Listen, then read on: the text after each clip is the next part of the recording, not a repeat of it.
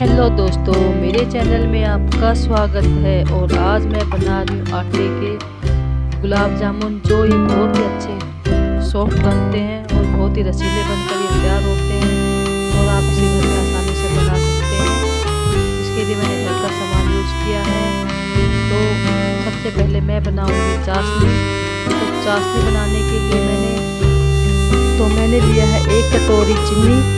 और एक कटोरी मैंने पानी लिया है, दोनों की क्वांटिटी मैंने बराबर रखी है। अब इसकी हम पतली चाशनी बनाकर तैयार करेंगे। तो इसको अच्छे से मैंने मिक्स कर लिया और अच्छे से इसको बॉईल कर देंगे। चार से पाँच मिनट के लिए हमें इसको पकाना है। दाल वाली चाशनी हमें इसकी नहीं बनानी है, जैसे शहद चिपचिपा होता है, उसी टाइप की हमें चाशनी बनानी है। तो चाशनी को मैंने चार से पाँच मिनट में पका लिया, इसको दो से तीन मिनट के लिए और पकाएँगे। आप चाहे इसके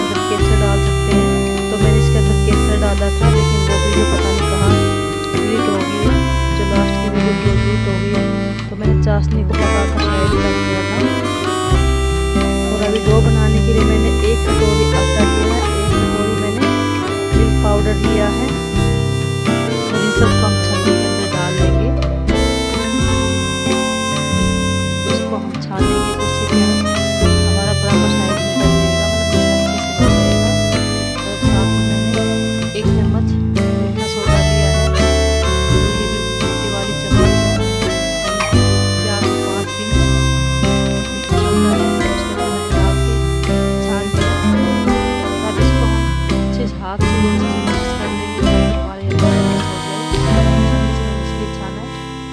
सारे, बराबर बराबर मिल जाए अच्छे से। तो आटा मैंने पहले ही छान के रखा हुआ था, बिल्कुल बारीक वाली छलने से आटा छाना था मैंने। फिर सब के अंदर मैंने दो से तीन चम्मच घी डाला है। इसको भी, घी को भी हम अच्छे से मिक्स कर लेंगे, घी हमें इसे डालना है। जिससे हमारे गुलाब जामुन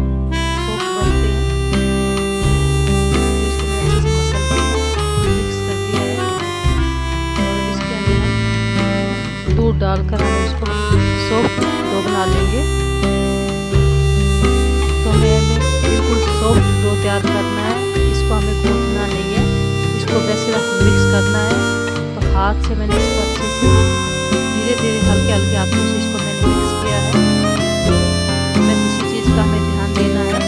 आटा हमें गूंथना नहीं है। और सॉफ्ट हाथ से इसका बिल्कुल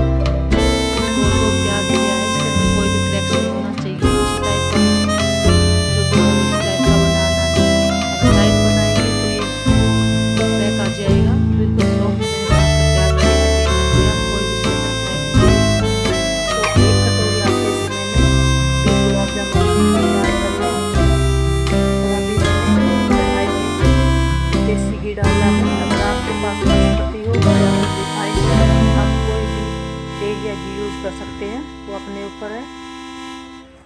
तो अब इसके अंदर मैंने सारे गुलाब जामुन डाल दिए हैं और गैस का फ्लेम मैंने बिल्कुल धीमे रखा है। हमें ज़्यादा घी नहीं करना है, नहीं तो हमारे गुलाब जामुन बिल्कुल जल जाएँगे और ऊपर से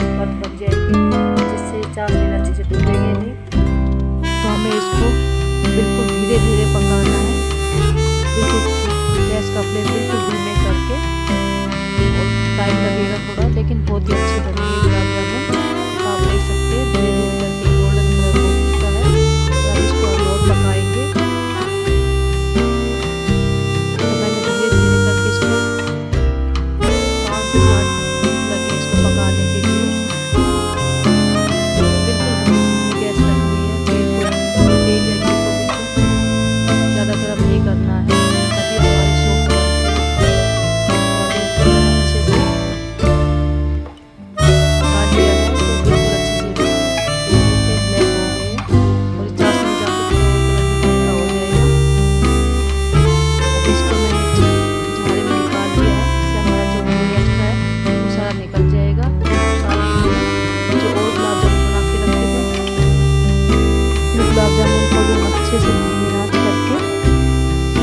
डालेंगे अच्छे से पकाएँगे। बिल्कुल अच्छे से पकाना है, इसको कच्चा नहीं रखना है।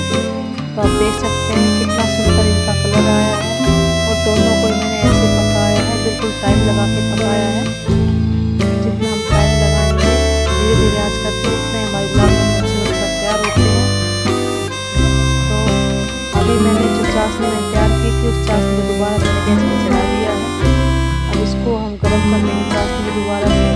गुलाब जामुन है। वो इसके अंदर मैंने डाल दिए हैं। तो इसको हमें अच्छे से उबाल लेना है। तो दो से तीन मिनट के लिए मैं गैस को और चलाऊँगी। देख सकते हैं, चाशनी में भी अच्छे से उबाल आ चुका है। और दो से तीन मिनट के लिए मैंने इसको पका लिया। तो देख सकते हैं, कढ़ाई हमारी अच्छे से भर चुकी है। जब डाला था, तब कैसा था अभी धीरे धीरे अच्छे से फूल जाएँगे। अभी गैस को हम ऑफ़ कर लेते हैं और इसको ढक के एक से डेढ़ घंटे के